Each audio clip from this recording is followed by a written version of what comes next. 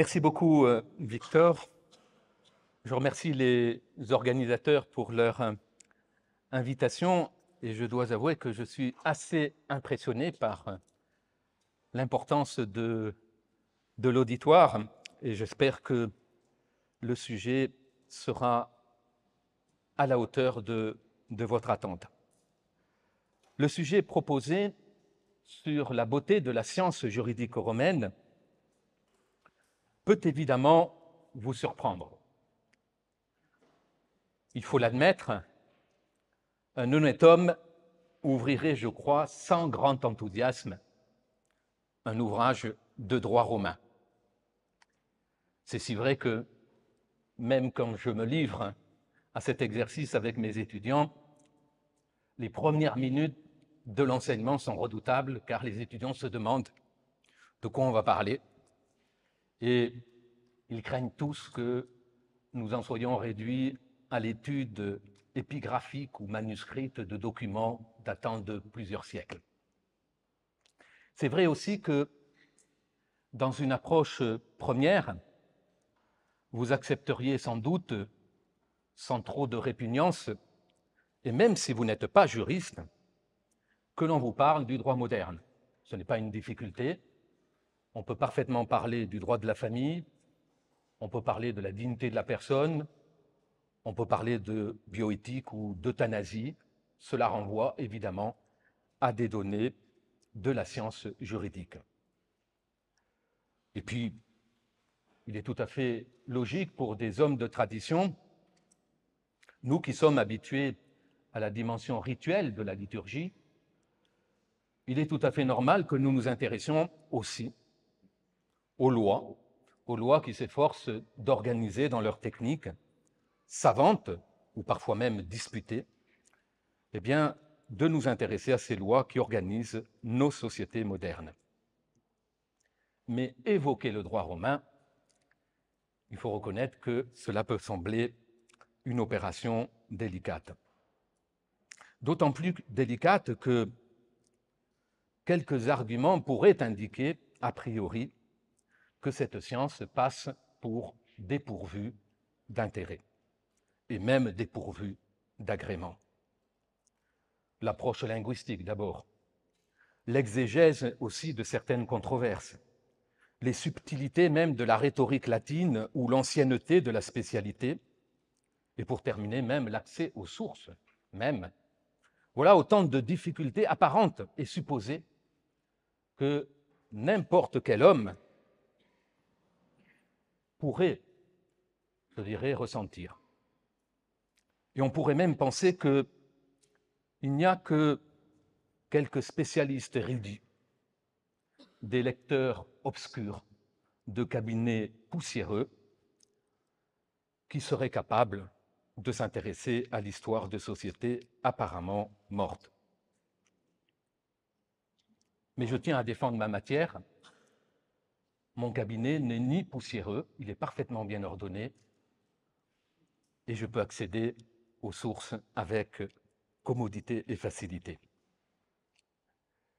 Pourtant, et c'est tout l'intérêt, me semble-t-il, du sujet, le principal héritage transmis par la Rome antique est en vérité sa science juridique. Et même si cela peut vous surprendre, cet héritage est beaucoup plus important que la philosophie romaine, la peinture romaine, la sculpture romaine ou même l'architecture romaine. Et c'est même une évidence, pour ne pas dire une vérité historique, que notre dépendance à l'égard de l'Antiquité. Pendant des siècles, les intelligences qui ont parcouru l'Occident ont puisé leur philosophie, leur poétique et même leur science dans la culture gréco-romaine. Et cela est encore validé pour tout ce qui touche à la famille, ne serait-ce que sous l'angle matrimonial, pour tout ce qui touche à la bioéthique, pour tout ce qui touche à la dignité de la personne. Notre raisonnement juridique, encore aujourd'hui, est déterminé par l'héritage romain. Je ne vous dirai pas que tout est héritage du droit romain, car il y a une rupture dans l'histoire de la pensée, de la pensée politique, de la pensée juridique, de la pensée philosophique. Cette rupture, on en connaît le temps. Nous savons quand cette rupture s'est opérée. C'est 1789. Il y a un avant de la science juridique romaine et un après. Mais cela ne supprime pas l'importance que nous devons au droit romain. Et vous serez surpris peut-être du rapprochement entre la science juridique romaine et la science de la liturgie sacrée. Il y a un point commun entre la tradition catholique et la tradition juridique. Et ce n'est sans doute pas un hasard si les plus grands romanistes du XXe siècle et du XXIe siècle ont été et sont des piliers de la tradition catholique. Et c'est la raison pour laquelle il est important d'insister sur cette dimension de la civilisation latine. La civilisation gréco-romaine n'est pas seulement produit, n'est pas simplement un produit, un corps de pensée sur le monde. Le droit romain, et j'ose utiliser le terme, c'est un art. C'est un art d'organiser la société, un art d'organiser les droits de chacun et un art aussi d'organiser leurs obligations. En parlant de la beauté de la science juridique romaine, je ne veux pas occulter non plus les ombres de l'histoire romaine, les heures et malheurs de la société romaine. Oui, il y a des drames dans l'histoire romaine le passage de la République à l'Empire, cette phase qui se déroule 50 ans avant l'avènement de Jésus-Christ et 50 ans après Jésus-Christ, est probablement parmi les périodes les plus sombres de l'histoire romaine. C'est la période où la tyrannie est devenue un exercice de pouvoir. Un exercice de pouvoir comme rarement on en a connu dans l'histoire, provoquant même le génocide d'une partie de la population de Rome.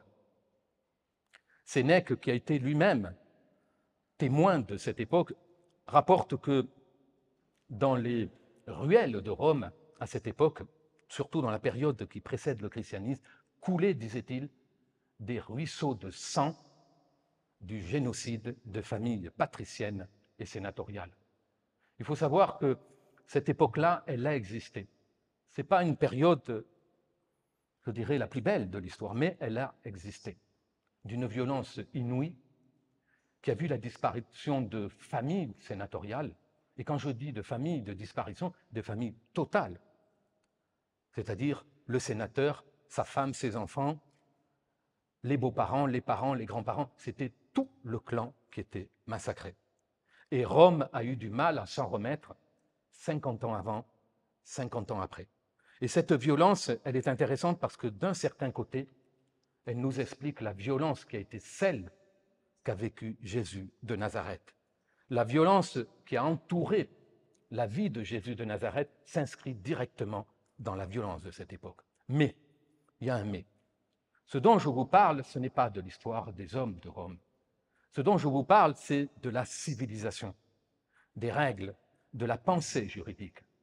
Et cette pensée, je vais essayer de vous en montrer la beauté et surtout la nécessité d'y recourir. Ce droit romain, plus servilement encore que la philosophie grecque, nous l'avons adopté. Même la civilisation gallo-romaine, qui est la civilisation de notre pays, nous avons adopté cette sensibilité de la culture romaine. Le monde moderne s'en est nourri. La société moderne, le droit moderne se sont constitués sur ces bases. Et comme je vous l'ai dit il y, a quelques, instants, il y a eu une rupture. Et cette rupture, elle est importante dans la compréhension de l'intérêt du droit romain. C'est la Révolution française. Nous y reviendrons dans quelques instants. Je voudrais insister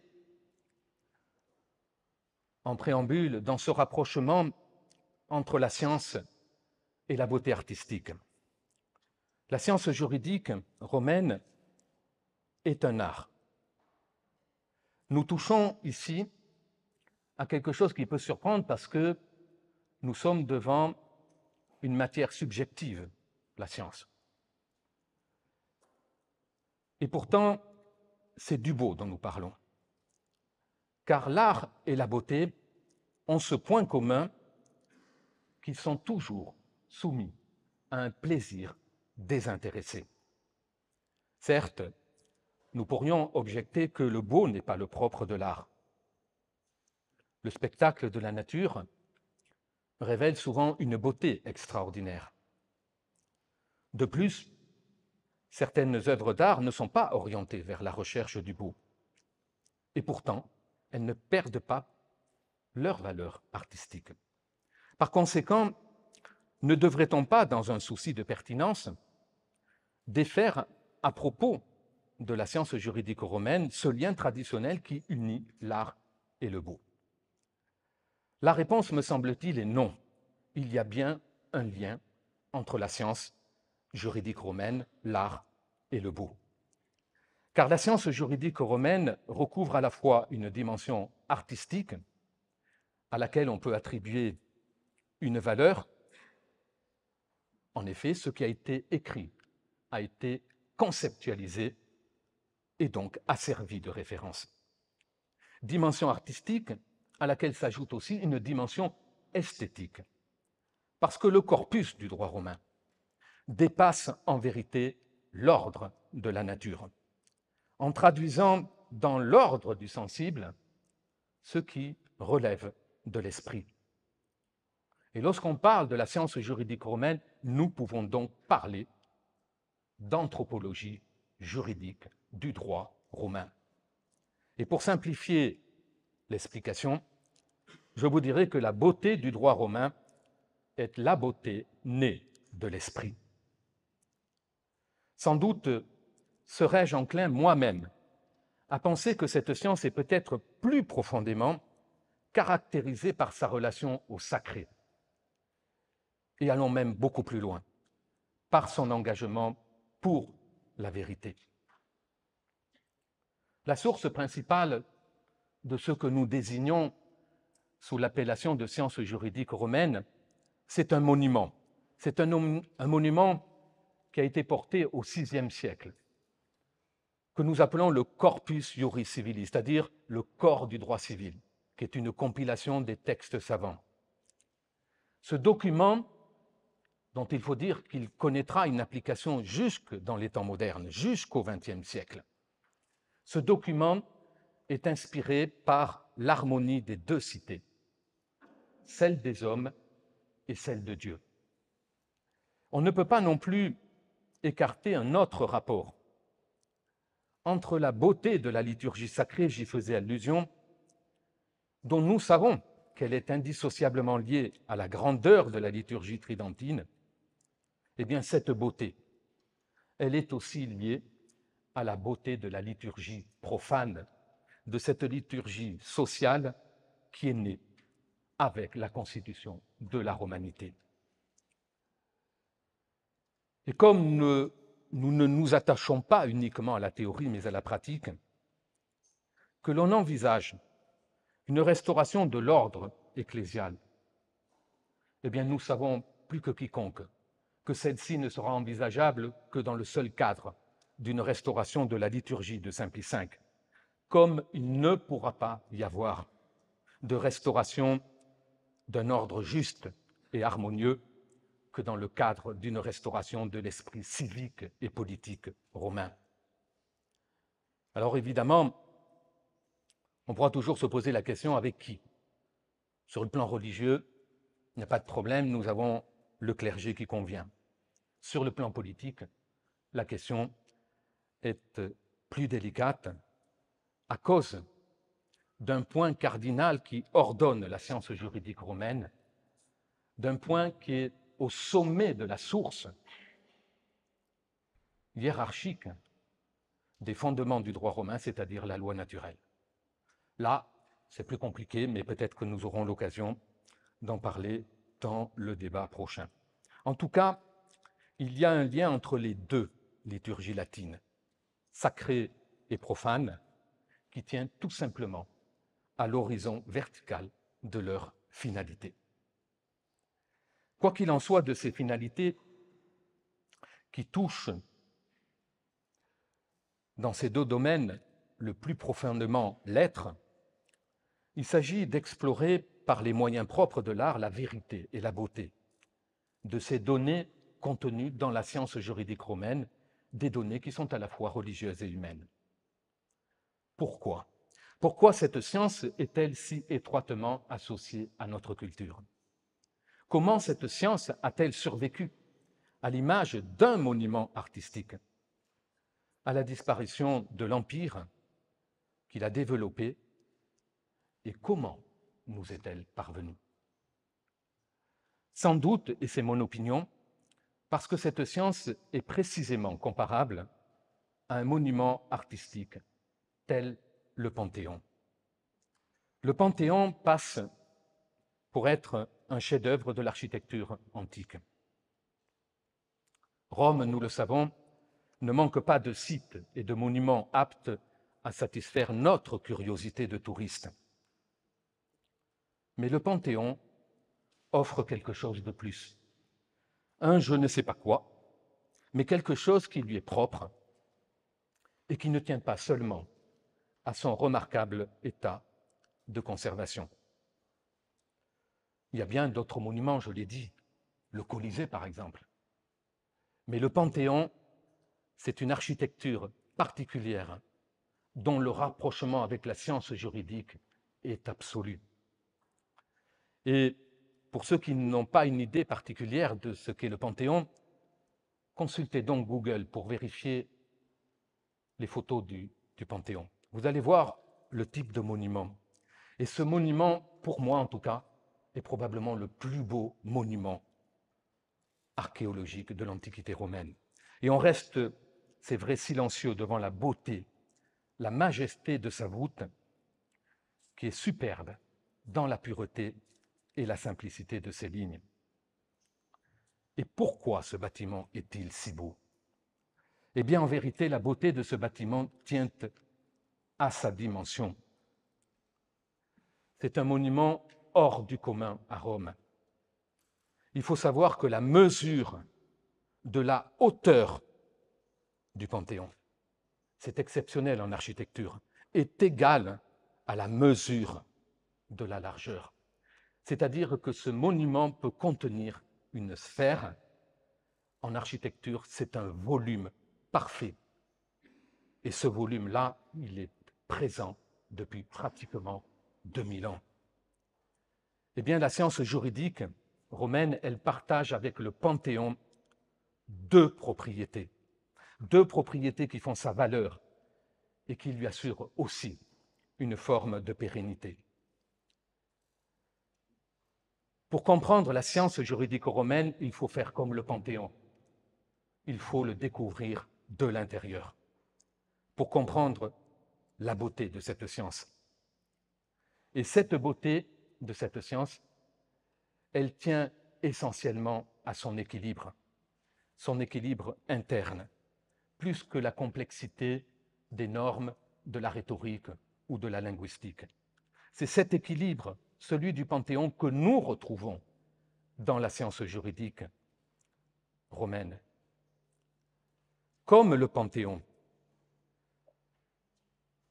qui réconcilie l'horizontale et la verticale, eh bien les juristes romains ont toujours eu le souci de l'équilibre. L'équilibre entre la justice et la vérité, l'équilibre entre le bien et le mieux, la justice entre la logique et l'humanité, l'équilibre entre l'abstraction et l'adéquation aux problèmes concrets, l'équilibre entre la stabilité des normes et leur nécessaire évolution.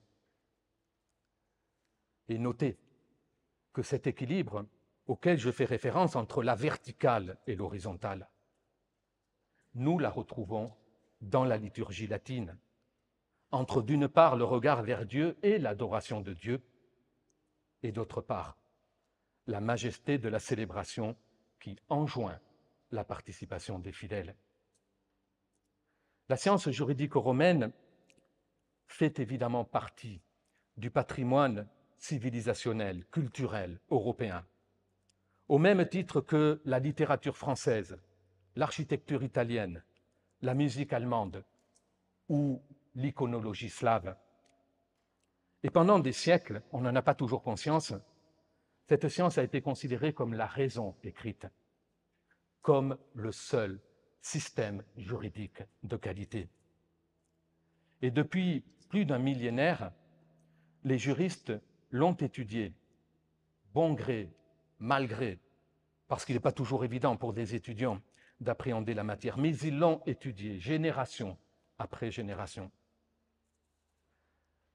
La complétude des études de droit, je crois, c'est à la fois la science spécialisée, mais c'est aussi la science générale que l'on a suivie en particulier par la philosophie du droit.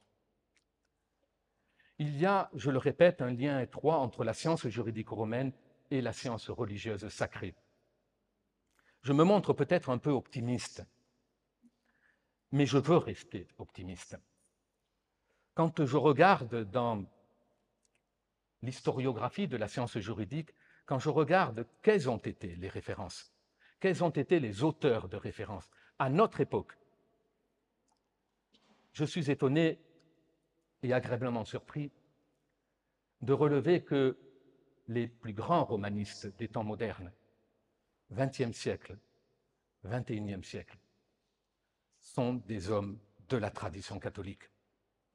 Les romanistes universitaires aujourd'hui sont des catholiques de tradition. Étonnamment, ou étonnamment pour ceux qui se tiennent éloignés de la matière. Mais c'est extrêmement logique dans le mode de réflexion et de pensée. Je vous prendre juste deux références. Le plus grand juriste du XXe siècle est un juriste espagnol. Il s'appelait Alvaro Dors, une personnalité exceptionnelle qui est décédée il y a peu de temps qui est décédé pratiquement centenaire, cet homme a eu un parcours de vie hors du commun. Juriste, philosophe du droit, historien du droit, romaniste. Il a mis sa vie au bout de ses convictions. Soldat d'une division carliste durant la guerre d'Espagne sous le gouvernement de Franco. Cet homme a été le plus grand juriste il a influencé toute la philosophie du droit du XXe siècle. Cet homme appartenait à la tradition catholique. C'est d'autant plus remarquable que dans le paysage du catholicisme espagnol, la tradition catholique est minoritaire, ultra minoritaire, à cause de l'influence de, l'Opus Dei. Et le deuxième juriste important, c'est un Français, Michel Villet qui a été professeur à l'université de la Sorbonne et qui a donné son nom à un institut, l'Institut Michel Villet, qui est l'Institut de philosophie du droit de l'université de la Sorbonne. Michel Villet était un homme de la tradition, et s'il en était, il a été enterré à Saint-Nicolas du Chardonnay, donc ça vous donne toute la mesure de l'engagement de l'homme. La plupart des universités ont continué au cours de l'histoire récente, à faire un objet de recherche scientifique cette science. Car le génie de Rome, c'est d'abord celui de son droit. C'est l'influence des institutions romaines, y compris et surtout dans le domaine des rapports entre particuliers. L'histoire de cette science, dans l'échelle du temps, c'est celle d'un système qui est observable sur la période la plus étendue. Plus de 2000 ans où cette science a été la référence des sociétés. 2000 ans pour lesquels nous avons des sources documentaires.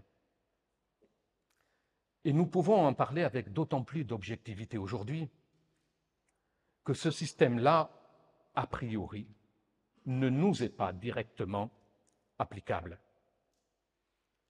Cette pérennité de la science juridique romaine, elle tient surtout à sa qualité.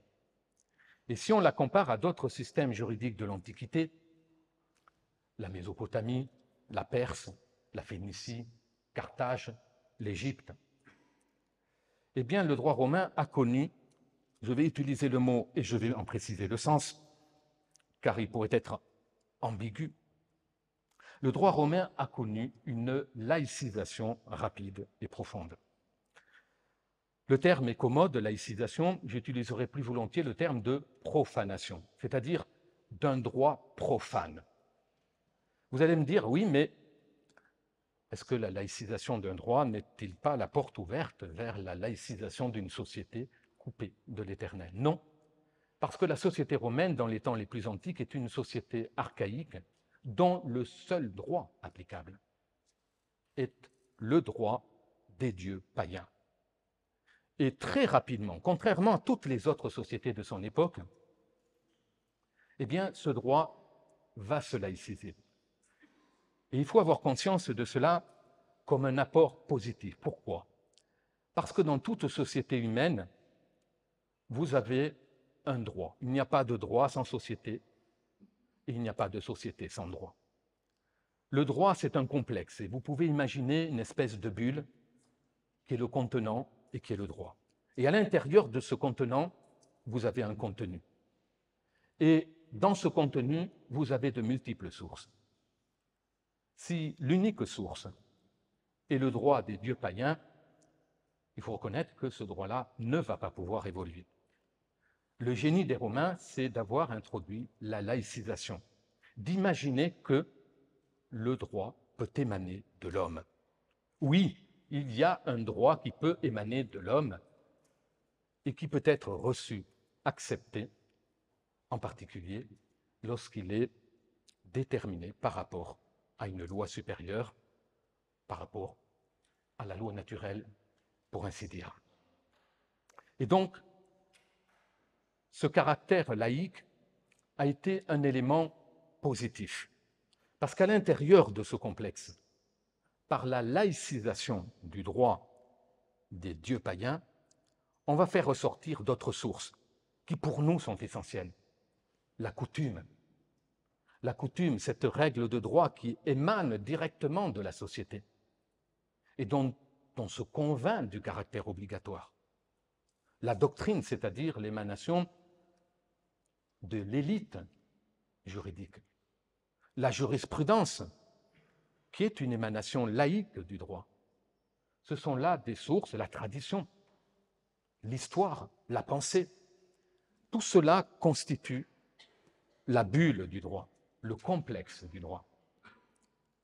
Et je vous donne déjà la clé, je dirais, de l'aspect référentiel de la science juridique romaine. Pourquoi cette science a-t-elle été une référence? Parce qu'à l'intérieur de ce complexe, les Romains ont édifié une hiérarchie des sources.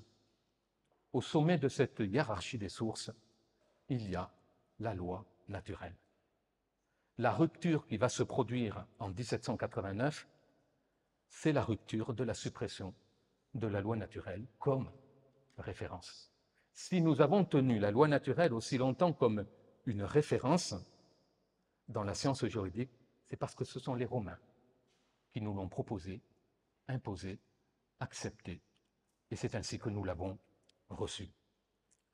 Et ce caractère profane s'est accompagné de normes juridiques dans le corps de la société depuis le IVe siècle jusqu'au début du XXe siècle nous avons appliqué du droit romain jusqu'au début du XXe siècle. Pas partout, puisque les dernières applications et réceptions du droit romain, ce sont celles du système germanique, et le droit allemand a accepté, jusqu'en 1901, de considérer la science juridique romaine comme une science supplétive, et lorsque le droit prussien ne répondait pas aux questions, on admettait que la science juridique romaine put servir de référence. La science juridique romaine, et c'est le point essentiel, parce que c'est le point qui détermine la raison pour laquelle, à partir de la Révolution française, on n'a plus voulu recevoir la science juridique romaine. La science juridique romaine n'a pas pour autant fait, avec ce processus de laïcisation, elle n'a pas fait de la loi humaine la source exclusive du complexe juridique. La loi humaine est une source majeure, mais elle est une source parmi d'autres. Et vous pouvez le vérifier. La clé de compréhension de la crise du droit, la clé de compréhension de la crise politique dans laquelle nous vivons aujourd'hui, c'est cette rupture qui fait qu'il n'y a plus que la loi humaine comme référence exclusive du système juridique et politique. On ne peut pas parler de l'euthanasie en relation avec la dignité de la personne. Non, on en parlera parce qu'on aura décidé aujourd'hui que c'est la majorité à l'Assemblée nationale, au Parlement qui détermine. Et on considère aujourd'hui qu'au sommet de ce système de la loi positive, le terme d'ailleurs est mal choisi, quand on parle de la loi humaine, les juristes parlent de la loi positive. Non pas d'ailleurs pas en relation avec le qualificatif positif, mais c'est parce que quand nous disons la loi positive, c'est parce que ce terme de positif vient du latin position, qui dans son sens veut dire par l'intermédiaire d'eux. La loi par l'intermédiaire de l'homme. Et aujourd'hui, l'idéologie dominante, en rupture avec la culture romaine, c'est le positivisme juridique. C'est le consensualisme juridique. C'est le contractualisme juridique. Autant de mots qui signifient la même chose. C'est le contrat social de Rousseau. Et cette rupture avec la science juridique romaine, elle s'est produite au moment de la Révolution. Et c'est la raison pour laquelle ce système a été appliqué, a été appliqué jusqu'à la fin de l'Ancien Régime, et la rupture s'est produite dans le Code civil de Napoléon. Je vais employer un mot qui pourra peut-être faire sourire un certain nombre d'entre vous. Dans la rhétorique actuelle, ce qui distingue le droit romain de notre culture moderne, c'est la multipolarité des sources. Le droit romain admet la tradition, il admet la coutume, il admet la jurisprudence, il admet tout. Il admet l'histoire, il admet la tradition, il, admet le relief. Oui, le relief influe sur les peuples. La diversité des peuples c'est la garantie des libertés des peuples. Cela, le droit romain l'admet. La multipolarité, c'est le contraire de la tyrannie. Le droit moderne aujourd'hui, c'est la tyrannie de la loi. Nous procédons à l'euthanasie parce que nous avons décidé que majoritairement, tout le monde était d'accord pour l'euthanasie. Et il n'y a pas d'autre source du droit aujourd'hui. Et quand ce n'est pas le Parlement qui décide, c'est un groupe soi-disant d'experts. C'est le contraire de la science juridique romaine. La beauté de ce système juridique romain, il découle du fait que l'ordre juridique romain a réalisé, au fond, un système harmonieux, nourri par ce que Montesquieu appellera lui-même la théorie des climats c'est-à-dire un milieu qui autorise des genres juridiques nationaux diversifiés selon les lieux, selon les hommes, selon les temps, mais ce sont tous des modèles de société qui sont fixés sur la verticalité anthropologique. Et cette réalité du droit romain, nous la voyons aujourd'hui dans les débats actuels en droit international. En droit international où il y a également la revendication, certes contrariée, de la multipolarité du droit international. Tout est lié. Et même si le sujet pourrait vous paraître lointain, je vais vous faire cette remarque qui est assez étonnante. Parce qu'on pourrait se demander aujourd'hui quels sont les pays où l'enseignement du droit romain et le plus répandu. Le pays dans la communauté européenne où le droit romain, tel la science à laquelle je fais référence, est le plus répandu, ce pays, et cela ne vous surprendra pas, c'est la Hongrie. C'est en Hongrie que l'enseignement du droit romain est le plus répandu. Quel est le pays dans le monde où l'enseignement du droit romain est le plus répandu dans le monde? La Fédération de Russie. Je ne m'étends pas parce que le sujet pourrait devenir équivoque et polémique. Je signale simplement une formule que les Romains avaient fait comme adage principal de leur propre science. C'est peut-être la formule la plus importante, celle que vous pouvez retenir. Ils aimaient à dire que à Rome, l'univers du droit n'est pas l'univers de la loi. Et cette formule résume toute la richesse et la beauté du droit romain. Car il signifie que la loi humaine, elle est utile.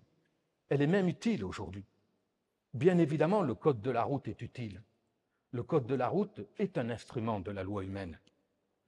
Mais l'organisation générale de la cité, pour nous, doit être ordonnée par rapport à un référentiel supérieur, c'est la loi de la nature. Mais cette loi de la nature, elle a été complètement rayée, supprimée dans la modernité juridique. Les Romains se refusent. Les Romains se refusent à la tyrannie de la loi. Ils la reconnaissent, ils l'ont promue, mais ils n'admettent pas qu'elle devienne la source unique. Et c'est sa deuxième qualité à la science juridique romaine, c'est la souplesse du droit.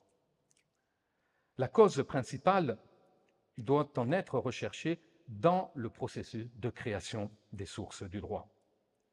Vous le savez sans doute, le droit a été créé par les juristes, les jurisconsultes, on les appelait ainsi. Ils étaient pratiquement tous des conseillers de la curie impériale. Et ce sont eux qui ont fait le droit romain classique. Ce sont eux qui ont créé la science juridique. Ces créateurs portaient un nom. Ce nom auquel on les a associés, ce terme, c'est jurisprudentia, jurisprudence. Ce qui voulait dire à l'époque les créateurs du droit prudent, juris, droit, prudentia, prudence. Ce sont ces jurisconsultes qui ont créé cet euh, équilibre entre la nature et la surnature, entre la terre et le ciel, en tenant compte précisément du contexte dans lequel ils se trouvaient. Et quand j'utilise le mot de jurisprudencia, ce n'est que par un déplacement du vocabulaire que ce terme de jurisprudencia est devenu le terme qui désignait les magistrats. Pourquoi a-t-on assisté à ce déplacement d'un terme qui désignait d'abord des conseillers pour désigner ensuite les magistrats? C'est parce que l'empereur a décidé de créer un lieu juridictionnel pour rendre compte de tous les contentieux dont ses conseillers avaient été saisis. Et finalement, le terme de jurisprudencia, qui avait commencé par désigner des hommes de loi simplement, est devenu un terme qui désignait des magistrats. Et quand on utilise le terme de jurisprudencia, il faut le prendre dans les deux sens. Le droit de la prudence et la prudence du droit. C'est un double sens qui désigne toute la richesse du changement auquel se sont livrés les Romains. La troisième qualité de cette science, c'est évidemment son esprit analytique. C'est-à-dire que par rapport à tous les autres systèmes de son époque, le droit romain a été capable de créer un vocabulaire, et plus qu'un vocabulaire, il a été capable de le conceptualiser. Je vais prendre juste un exemple sans vouloir le complexifier. Les Romains ont imaginé deux modes de situation de l'homme dans la société. Des situations de fait, des réalités de terrain qui ne correspondent pas forcément à des réalités de droit, et des réalités de droit. Je prends un exemple. La montre qui est ici est ma montre. J'en ai la pleine propriété. Si vous prenez ma montre, et c'est une situation de droit, j'ai acheté ma montre, ma propriété est entière, exclusive, absolue, disent les textes. Si vous prenez ma montre, vous n'en avez pas la propriété. Vous en avez seulement la possession. La possession est un concept imaginé par les Romains qui correspond à une propriété démembrée. Vous allez me dire, tout ça c'est intéressant, mais on n'en voit pas forcément la dimension pratique en termes de philosophie du droit. Si, il y a une conséquence immédiate. Dans un concept de science juridique romaine, celui qui possède n'a pas la propriété. Le squatteur n'a pas la propriété du bien qu'il occupe illégalement. Et en droit romain, un squatteur n'a pas de droit, parce que la propriété est un droit naturel, dit la science juridique romaine. Dans un système juridique comme le nôtre, qui a fait abstraction du droit naturel, le squatteur est celui qui est protégé. Le squatteur qui possède et qui n'a pas la propriété, c'est lui qui est protégé par la loi au nom d'un pseudo-principe de compensation sociale. C'est une inversion des valeurs. Et c'est en même temps, je dirais, une subtilité du droit romain. Le droit romain a conçu des normes, mais ces normes ont été dévoyées par la philosophie moderne.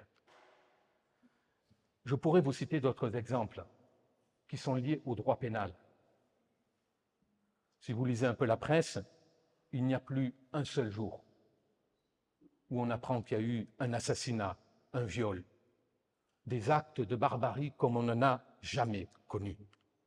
Et quand je dis des actes de barbarie, c'est impressionnant.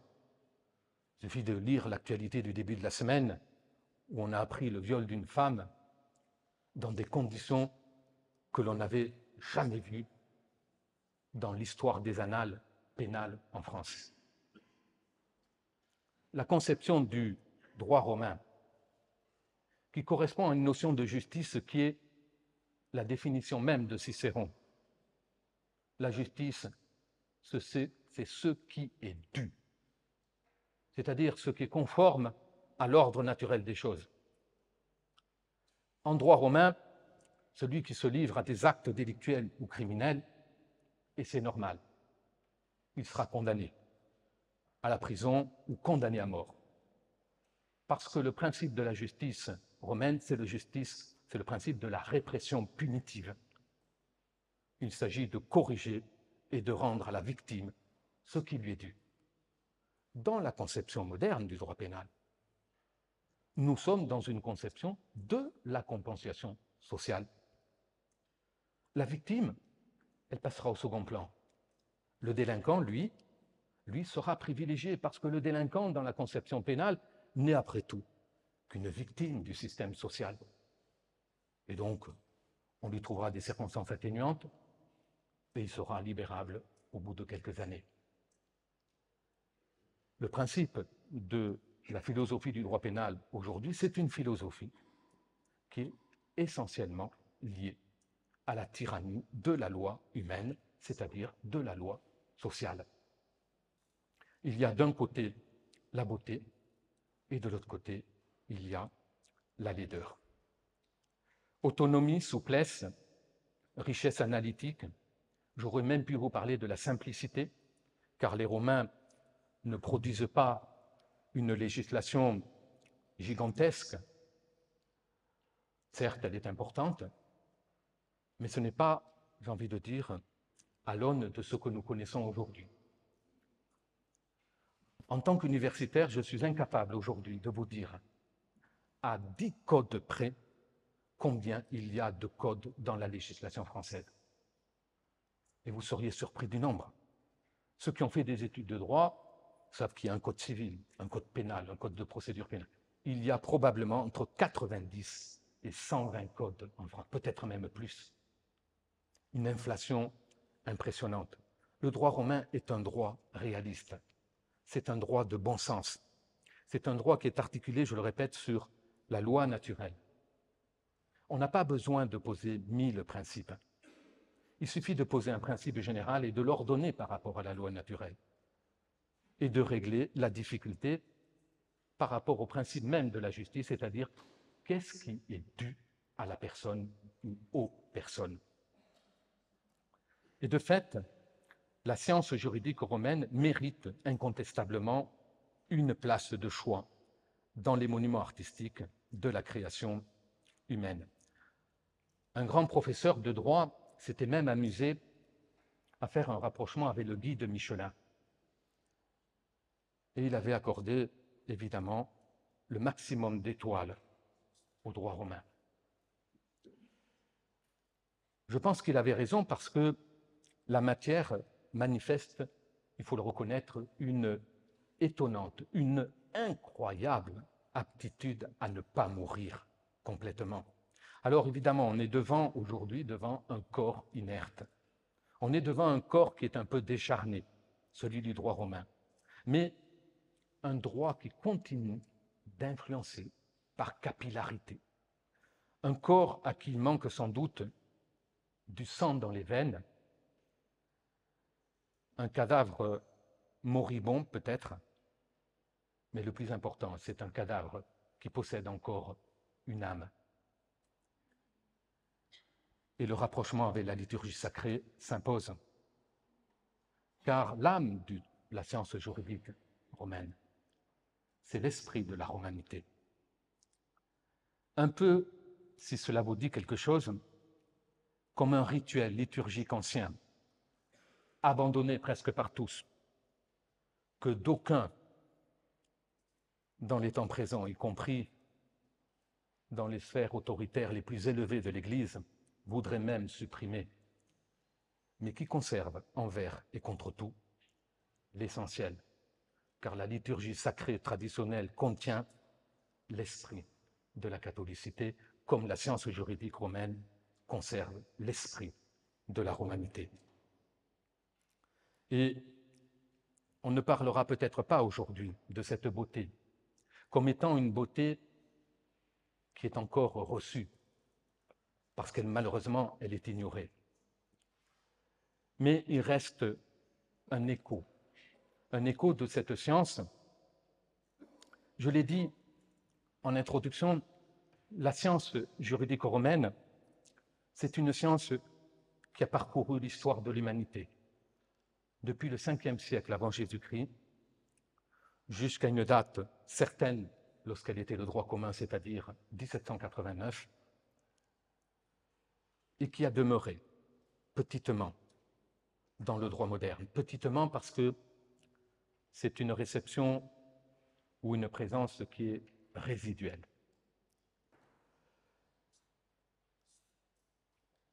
Jusqu'en 1789, le droit romain a été considéré comme une source essentielle.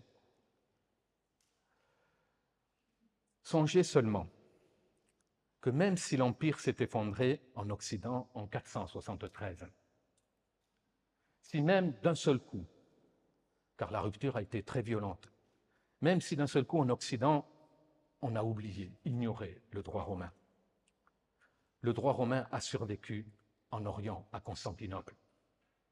Et vous devez savoir que la source qui nous inspire encore, comme homme de la tradition, c'est ce document auquel j'ai fait référence, c'est le fameux Corpus Juris Civilis de Justinien du VIe siècle. Ce monument est exceptionnel. Il est à l'origine de la fondation des universités dans le monde.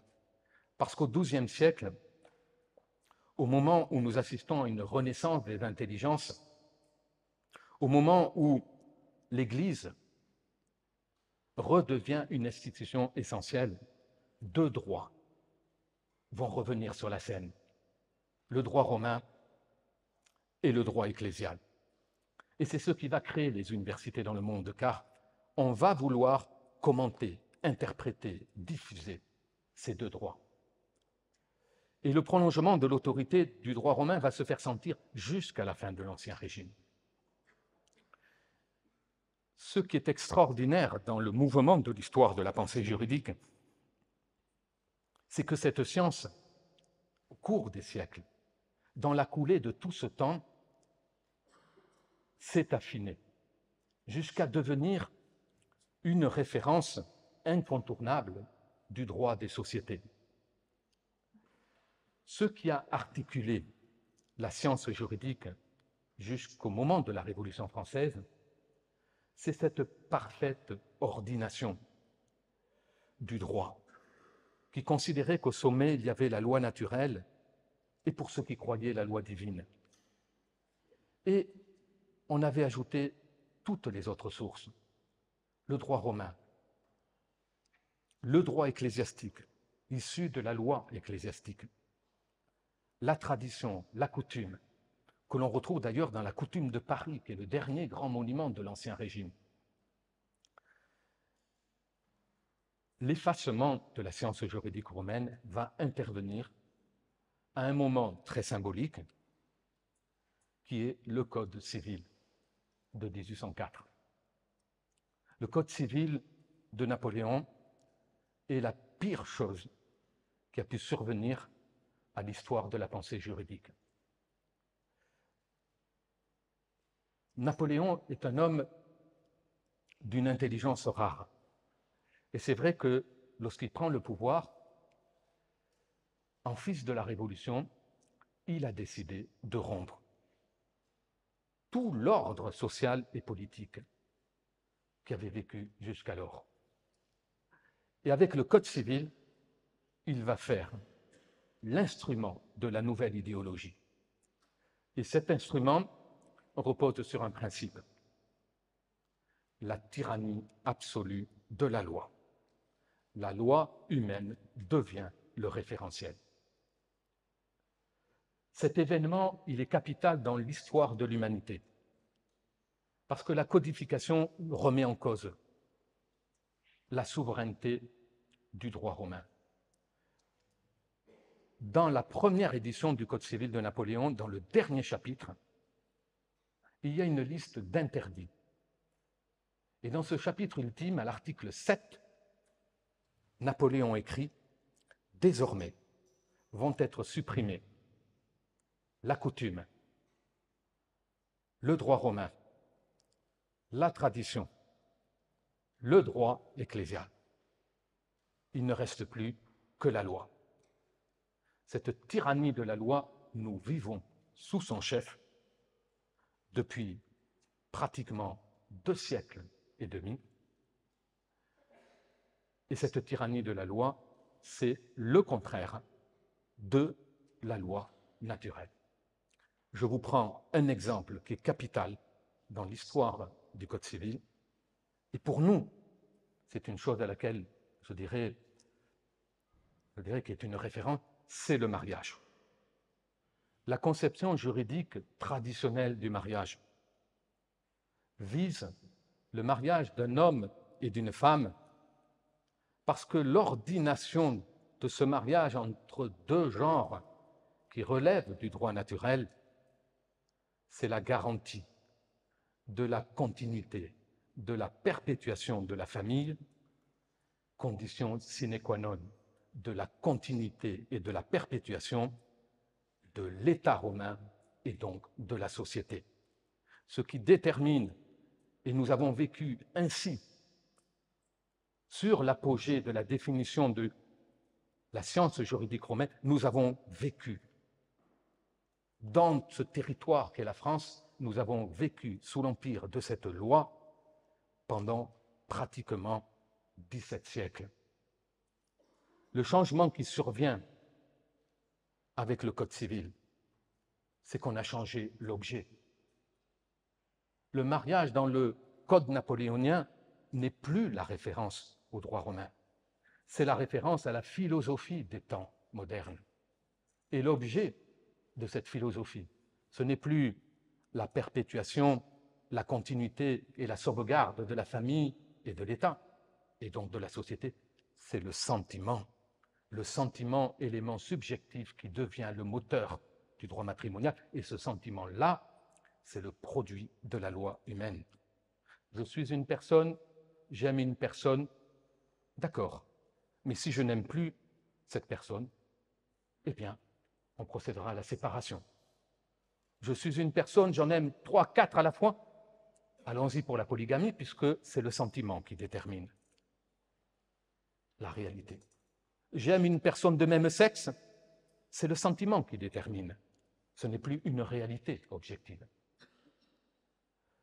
Le Code civil a donc tout transformé. Ça ne veut pas dire non plus que le droit romain a complètement disparu. Le droit romain a continué de vivre un tout petit peu. Ne serait-ce que parce que nous avons encore des magistrats au XIXe siècle qui interprètent le droit romain, même sous l'empire du Code civil. Ce sont des magistrats qui interprètent le droit français quand celui-ci n'a pas de réponse, il recourt au droit romain. Belle stratégie de maintien de la tradition, qui est d'ailleurs l'œuvre de magistrats très particuliers. Ce sont des magistrats légitimistes qui appliquent encore le droit romain au tout début du XIXe siècle. Il est évident qu'il n'y a pas eu une éradication totale de cette science. Le choix du vocabulaire dans le Code civil est une appropriation de la science juridique. Mais il ne s'agit que d'une appropriation formelle, pas d'une appropriation fondamentale. C'est Napoléon qui a donc produit cette rupture. Et cette rupture va avoir des conséquences universelles. La codification de 1804 c'est la suppression du droit romain. Mais c'est bien plus. C'est que la codification va devenir le modèle universel. Toutes les révolutions dans le monde au XIXe siècle, en Europe, en Espagne, au Portugal, en Italie, en Amérique du Sud, au Paraguay, au Chili, au Brésil, en Argentine, toutes ces révolutions que nous avons connues au XIXe siècle sont des révolutions qui sont liées à l'imposition et la réception du modèle napoléonien de la codification. Jusqu'en Chine, où avant même l'arrivée de Mao Zedong, on a voulu imposer la codification. Et toutes les batailles de la tradition ont été perdues au XIXe siècle, sous l'empire de la codification. C'est le cas en Espagne avec les guerres carlistes. C'est le cas en Italie avec euh, les Bourbons-Parme. C'est même le cas aux États-Unis dans la guerre de sécession. Tout oppose le modèle napoléonien au modèle de la tradition. Et je vais même aller beaucoup plus loin en terminant mon propos, parce qu'il nous permet de comprendre l'essence de la crise d'aujourd'hui, c'est que cette codification qui rompt avec le droit romain, c'est quelque chose qui menace aujourd'hui l'institution ecclésiale. Les codifications dans l'Église catholique du XXe siècle, ce que nous avons appelé le Code de 1917, puis le Code de 1983, auquel s'est ajouté le Code de 1990 pour les églises d'Orient. Ce n'est rien d'autre que le processus final d'adoption d'un modèle bonapartiste dans la cité des hommes et dans la cité de Dieu. Alors j'entends déjà l'objection que vous pourriez me faire. Le Code de 1917 a été pris sous le chef du pape Saint Pie Certes, mais qui en était l'ordonnateur? Qui était le promoteur de la codification? Le promoteur de la codification, c'est le cardinal Gaspari, chef de file des libéraux, qui a en face de lui dans les murs du Vatican Méry Delval, qui est le chef de file des conservateurs. Qui l'emporte? C'est le cardinal Gaspari. J'entends souvent des amis de la tradition me dire le code de 1983, on n'y touche pas, on a le code de 1917. Non, non. Le premier mouvement libéral qui a visé à supprimer toute la culture de la civilisation que nous tenions du système juridique romain dans l'Église, c'est le Code de 1917. Et on le sent d'ailleurs très bien dans son dispositif. Il y a plusieurs mesures qui reprennent exactement, et pas seulement dans sa forme, mais sur le fond. Par exemple, une norme qui a été sous-évaluée, c'est la coutume. Dans le Code de 1917, la définition de la coutume est la reprise du Code civil français. Et le cardinal Gaspari, dans l'introduction du Code de 1917, dit que son référentiel, c'est la codification de Bonaparte.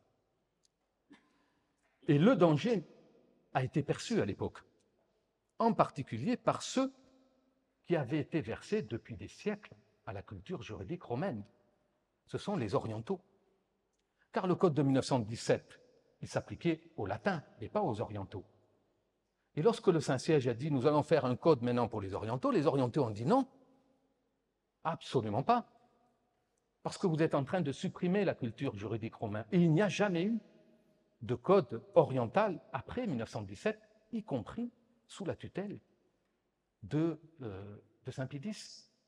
D'ailleurs, faisant référence au conflit entre le cardinal Gaspari et Méry Delval, nous savons par les mémorialistes romains que dans l'élection pontificale qui a suivi la mort de Benoît XV, successeur de Saint-Pédis, c'est-à-dire au moment de l'élection de Pie XI, les mémorialistes disent qu'il y a eu deux candidats au premier tour, même les tours suivants. Gaspari pour les modernistes, Méry Delval pour les conservateurs.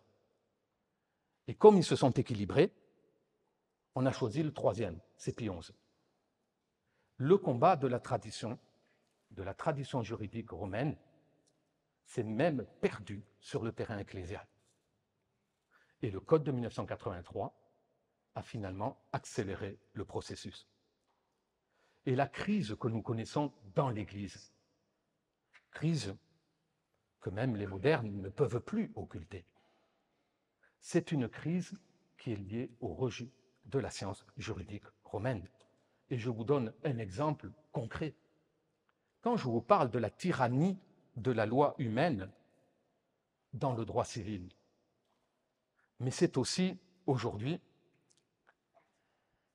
la tyrannie de la loi humaine dans l'Église, ce que nous appelons la loi ecclésiastique. La loi ecclésiastique est une source du droit. Aujourd'hui, nous assistons au même processus, le rejet de la loi divine dans le droit ecclésial. Je me suis avisé l'année dernière à l'occasion d'un colloque de l'IPC, où j'avais été invité pour un colloque sur la loi naturelle. Et on m'avait demandé d'intervenir sur le Code de 1917 et le Code de 1983 sur les références de la loi naturelle. Je me suis rendu compte, à mon grand étonnement, que le concept de loi naturelle a quasiment disparu dans le Code de 1983, mais dans des chiffres qui sont impressionnants. C'est-à-dire que la proportion de référence entre celui de 17 et de 83 divisé par 3. Et cela vous fait comprendre pourquoi. Pourquoi en ce moment c'est l'imagination humaine qui crée tout et son contraire. On a appris que on allait débattre prochainement du diaconat féminin et peut-être même du mariage des prêtres. Nous sommes dans la pure fiction de la loi humaine dans l'Église. Et la gravité de la situation, c'est que le droit divin ne détermine plus la discipline dans l'Église. C'est la tyrannie de la loi humaine qui va s'exprimer dans une organisation elle-même démocratique ou soi-disant démocratique, c'est-à-dire la structure synodale. Et pour masquer ce qui pourrait apparaître comme un acte de primatie pontificale, on dira que c'est le synode qui s'est exprimé. Mais dans les deux cas, dans les deux évolutions juridiques, le droit de la cité et le droit de l'Église, il est incontestable que la rupture est faite. avec le Code napoléonien. Alors tout cela pourrait nous laisser penser que il reste plus grand-chose de très positif dans ce tableau qui est euh, assez triste. Mais je pense que deux questions, parce que je le paix avec la restauration de la liturgie. Et je pense qu'il en va du sort des deux cités, de la cité des hommes comme de la cité, la cité de Dieu, la cité ecclésiale.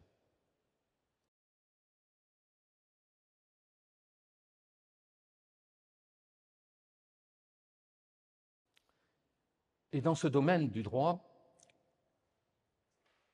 la beauté est inséparable. Elle est inséparable dans ces deux univers.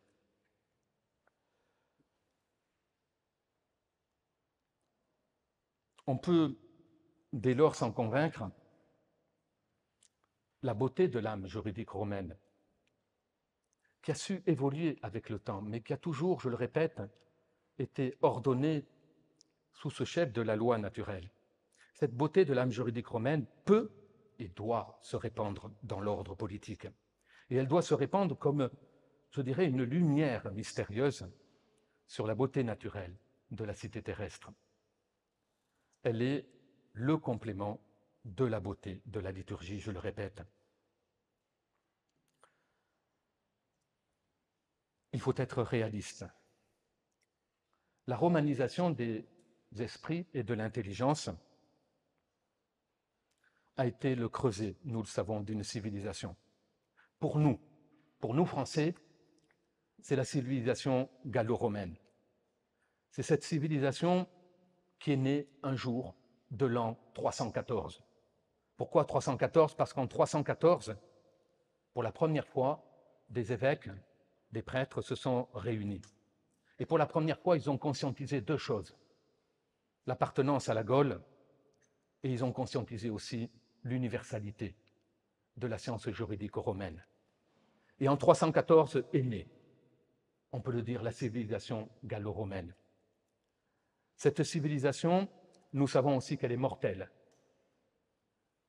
Et elle est morte, oui, un jour de janvier 1793. Mais la beauté, la beauté de la science juridique romaine, elle a toujours porté les promesses de la civilisation. Et je dirais même beaucoup plus loin. Elle a toujours porté les promesses de la douceur de vivre. Car s'il est un siècle qui a été par excellence le siècle de la douceur de vivre, c'est bien le XVIIIe siècle, à la veille justement de la Révolution française. C'est un siècle où on imagine mal combien la science juridique a influencé sur l'affinement des mœurs dans la société. Et c'est tellement vrai que les Britanniques, qui ne nous prêtent guère de sentiments, disent à propos du XVIIIe siècle, le XVIIIe siècle, c'est le siècle de la France. Et ils ajoutent, c'est le siècle de la France parce que c'est le siècle de la délicatesse. Et ce siècle de la délicatesse, il a été le fruit de cette conjonction extraordinaire à la fois de la science juridique romaine et bien évidemment de la foi chrétienne. Eh bien, à nous, à vous, de la restaurer, à Chartres, ici et ailleurs. Merci.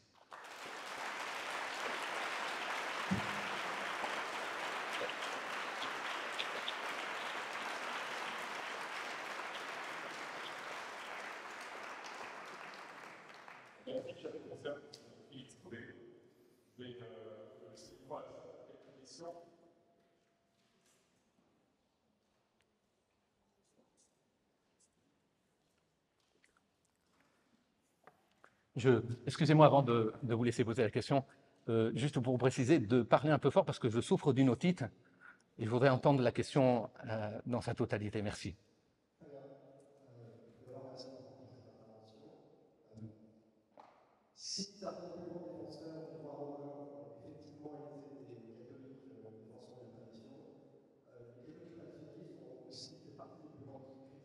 Je pense notamment à Charles-Louis le grand philosophe réactionnaire du 19e siècle, qui dans une destruction de l'ordre organique et qui avait émané le germanique début, début du Moyen-Âge.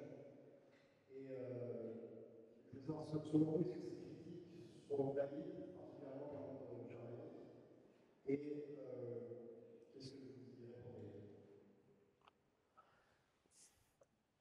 Alors, votre, pardon, votre, votre question euh,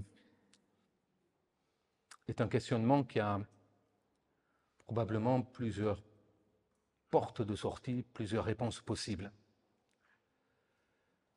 Donc je vais essayer de vous donner une réponse qui peut d'ailleurs ne pas correspondre exactement à, au questionnement que vous soulevez. La question qui est liée à la beauté de la science juridique romaine, c'est une question qui est liée à l'importance que les Romains n'ont pas seulement accordée au droit, mais surtout à la philosophie du droit. L'implication que la science juridique romaine peut avoir aujourd'hui, euh, c'est une implication qui soulève la question de, l'incarnation, de l'incarnation du droit romain. Peut-être que si nous n'avions pas eu ce matin cet échange, vous vous seriez instamment interrogé sur l'utilité du droit romain. Ce qui nous intéresse dans le droit romain, ce n'est pas la normativité du droit romain, c'est l'esprit dans lequel la règle de droit a été portée. Et la difficulté euh, pour nous, dans les temps présents, c'est de nous poser la question de l'incarnation de cette science. Ce n'est pas plus facile dans la cité de Dieu d'avoir apporté l'incarnation de la tradition catholique. Nous avons les mêmes enjeux, les mêmes défis, et les deux sont inséparables, bien évidemment.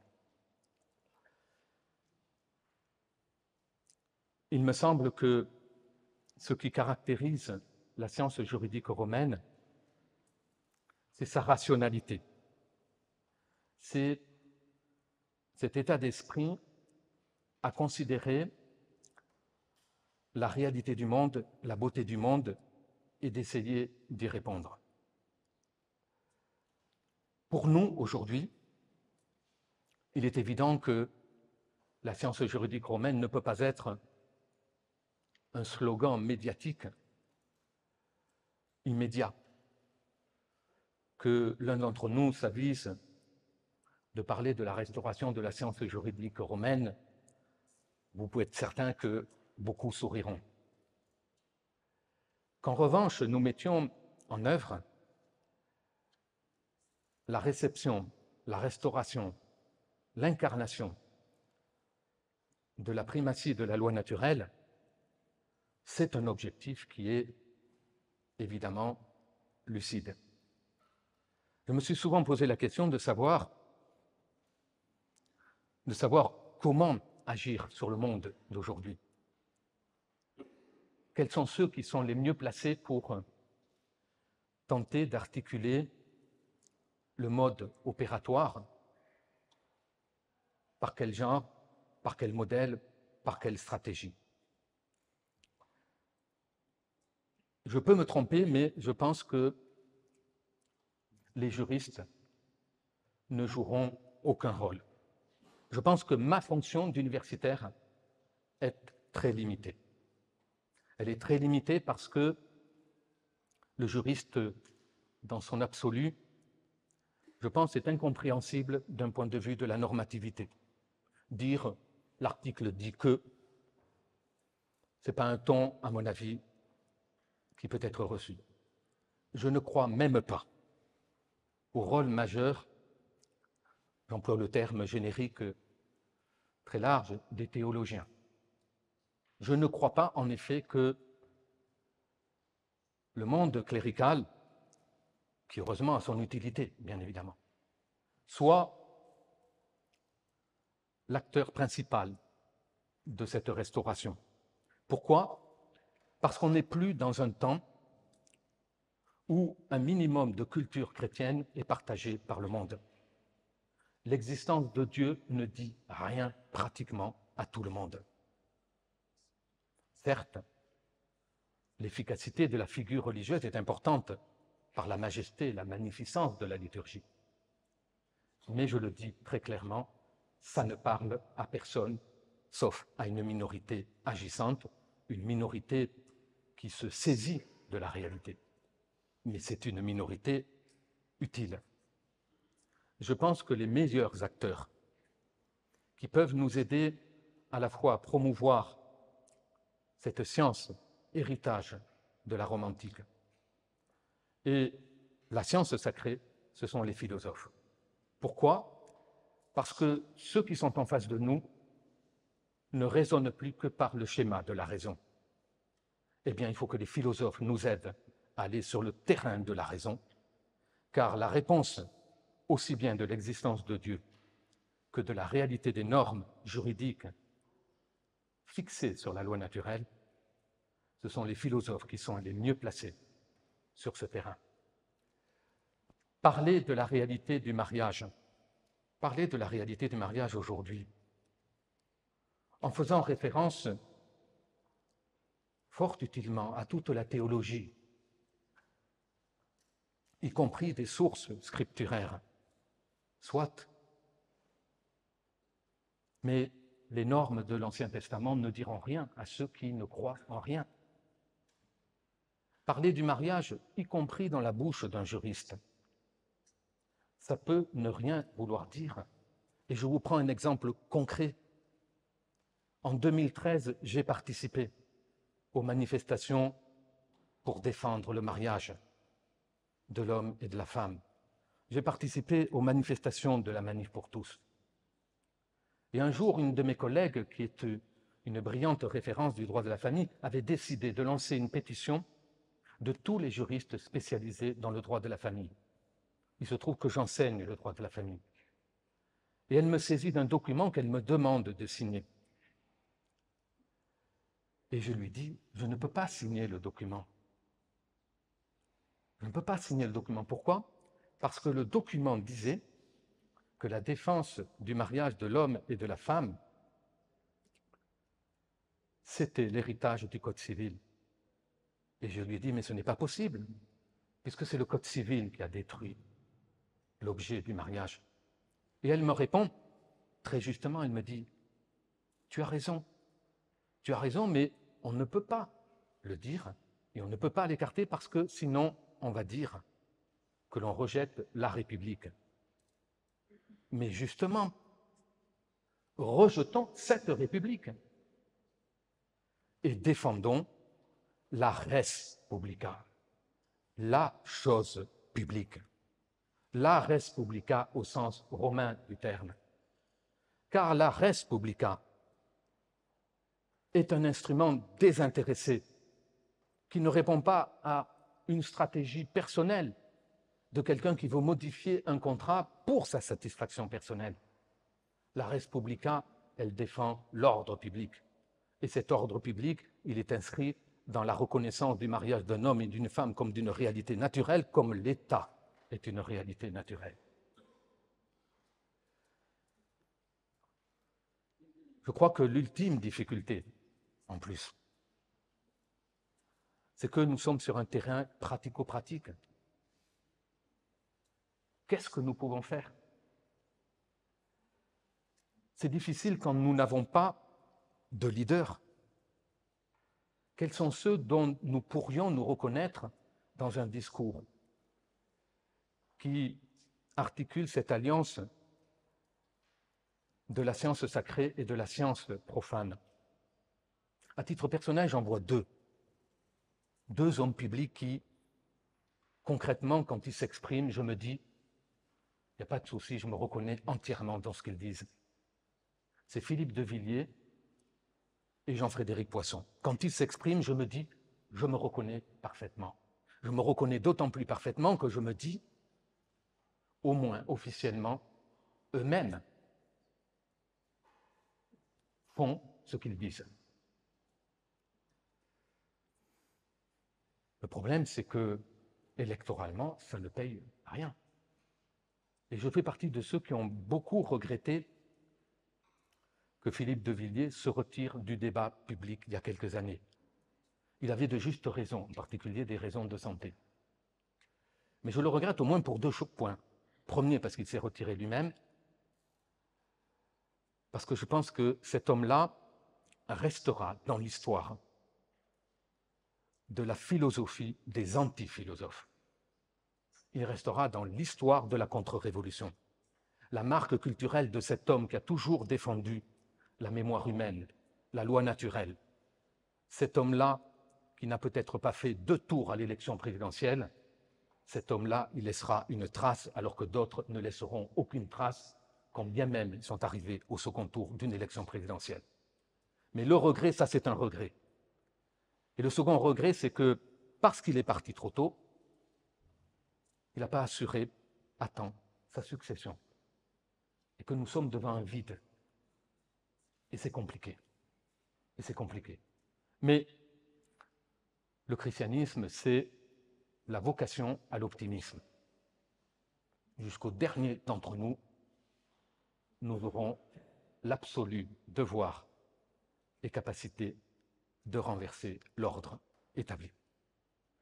Et je pense que ici, vous êtes parfaitement formés, éduqués, orientés pour maintenir cette flamme.